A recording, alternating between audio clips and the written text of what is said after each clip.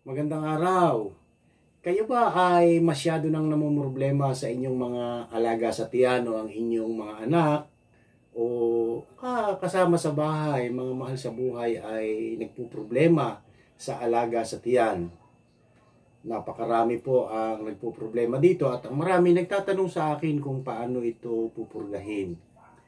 Kapag ang isang bata ay ah, palaging ah, masakit ang tiyan, laging kinakabagan, ah, may nararamdaman pagkahilo, mabilis magutom, mabilis mauhaw, at sa malubhang kondisyon ay yung mga madalas na pagtatae at pagsusuka at ang iba ay ah, kapansin-pansin ang kanilang pamumutla at pangangayayat. Pag ganito ang isang tao o isang bata, tiyak siya ay mayroong alaga. Ang mga intestinal parasites na ito ay ah, nagmumula sa maaring sa gripo, maaring sa ating mga kinakain, at ah, lalo na itong ating mga anak na mahilig maglaro sa lupa at mahilig maglaro ng alikabok, doon natin nakukuha ang ah, ganitong problema. At pagkatapos ay ah, kakain sila, hindi naghuhugas ng kamay, ngunit ah, bahagya lang, basta nabasa eh okay na. Hindi po ganon. Kinakailangan po talagang malinis pati yung mga dulo ng ating daliri at kuko at mga singit-singit ng ating ah, daliri ay dapat po malinis na malinis. Dapat po ay naoobserbahan natin ang proper ah, hygiene at ah, proper sanitation sa loob ng ating tahanan. But ah, pagka po dumating sa ganitong punto na tayo ay mayroong alaga sa tiyan, ay napakahalaga po ang pagpupurga at ah, alam nyo kahit po walang alaga ang isang bata o tayo mismo, dapat every 6 months po ay nagpupurga tayo. Pero hindi po natin kailangang ah, bumili ng mga pampurga sa butika sapagkat yung mga prutas at gulay ay sagana po sa nutrients na pwedeng ah, pumatay o kumitil sa mga alaga natin sa ating tiyan at pati mga itlog nila ay kaya nitong mapalabas. Ito po ang aking ah, tinutukoy kung tayo po ay mayroong ah, pinya. Yung iba po kasi eh, kumakain ng pinya pero pakonti-konti lang. Ayan, hindi po dapat na kukunting pinya lamang ang ah, ating kinakain kung hindi dapat po ay marami. Kung hindi naman po tayo mahilig kumain ng pinya, ay pwede po natin itong patasin at ating inumin. Kung meron po tayong ah, blender, ay i-blender po natin at ah, mabilis po nating ah, maiinom ang ah, katas nito at ang sabaw. Napakahalaga po na sabi ko nga every 6 months po ay dapat nagpupurga tayo. So sa malalang kondisyon, pagising po sa umaga ay uminom kaagad tayo ng dalawa hanggang tatlong baso nito habang wala pang laman ng ating sikmura. Then ah, pagkainom po natin ito ay ah, siguro hintayin natin ng isang oras at pagkatapos po ng isang oras ay ah, saka lamang po tayo kumain ng ah, almusal.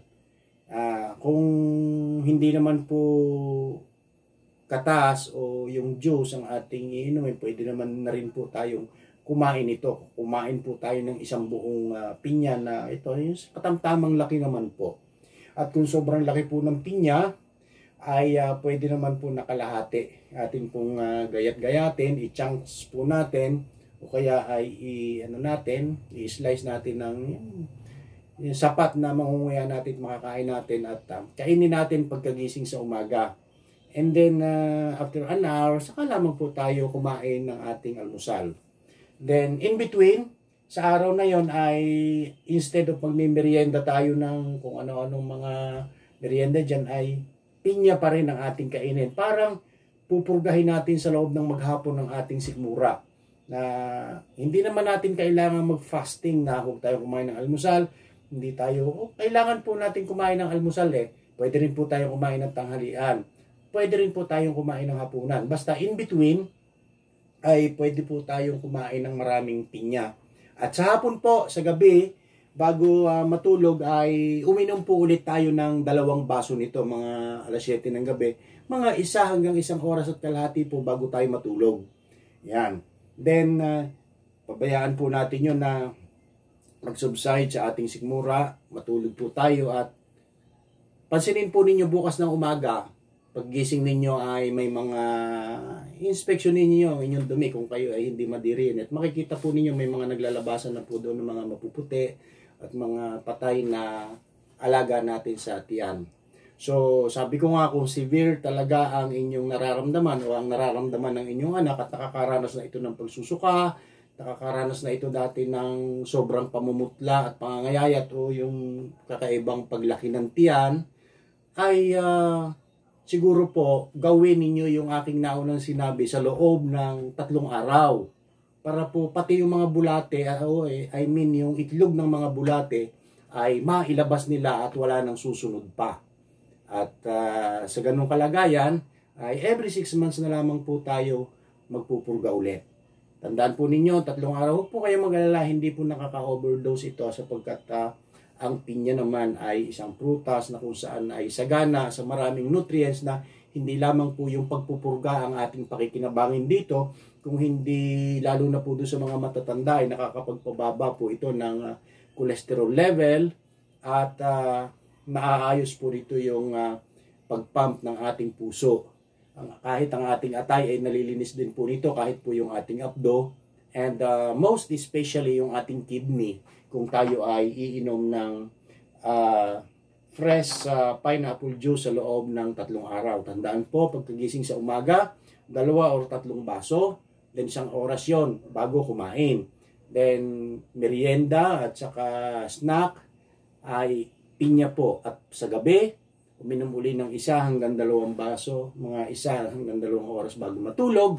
Gawin po yun ng 3 days at uh, maniwala po kayo na ang lahat ng alaga, sampu ng mga itlog, ay maglalabasan at magiging uh, malusog na muli ang inyong anak o kayo mismo ay makakaranas po ng uh, inaasam nating kalusugan na walang anumang inaalagaan sa tiyan. Kung minsan nga po, mas mabilis pang magutom yung ating bulati kaysa sa atin at uh, kapag po sila ay nagugutom ay uh, yun, kumakalam ang ating sikmura at tayo nagugutom. Minsan nga, isang oras pa lang tayong kumain eh, maya maya gutom na naman. Maya maya, uhaw na uhaw na naman. Kasi po ay marami tayong alagang anaconda sa ating tiyan. So, mga kapanalig, sana po ay pansinin nating mabuti yung uh, tinatawag na proper hygiene at saka yung proper sanitation sa loob ng ating tahanan. Ugaliin ang paghuhugas ng kamay bago kumain. Kahit po kasi tayo ay nakakutsara, ay may tendency na mahulog yung mga dumi-dumi na nasa ating mga galamay at wala po tayong kamalay-malay kasi micro pang, pang microscopic po yung uh, itlog ng bulati na hindi natin napapansin. So kailangan po ay maging maingat tayo. Kung kakain po tayo tulad nito ng mga prutas at mga gulay, kailangan po nating hugasang mabuti, lalo na po yung kangkong kasi talagang kinakapitan nyo ng mga, ng mga bulati at mga linta. At uh, kung hindi po natin mapapansing mabuti, ay makakain natin yon kahit po yung mga talbos ng kamote na gumagapang sa lupa. Kailangan po talaga ay uh, hugasan natin itong mabuti. Huwag uh, po nating pamabayaan na ito yung makakain natin ng hindi dumaan sa masusing pag-inspeksyon at uh, paghuhugas uh, o paglilinis. Kaya uh, kailangan po ay laging areglado po tayo pagdating sa kalinisan sa ating pangangatawan at sa ipinapasok po natin sa ating katawan upang maingatan natin at mapanatili natin ang isang malusog na uri ng pamumuhay. Maraming maraming salamat po at uh, nawa kayo po ay nasiyahan sa ating uh, saglit na napag-usapan kaya uh, ah, ako po ay muling nagsasabi na sa pinya pa lamang ang alaga mo ay maglalabasan.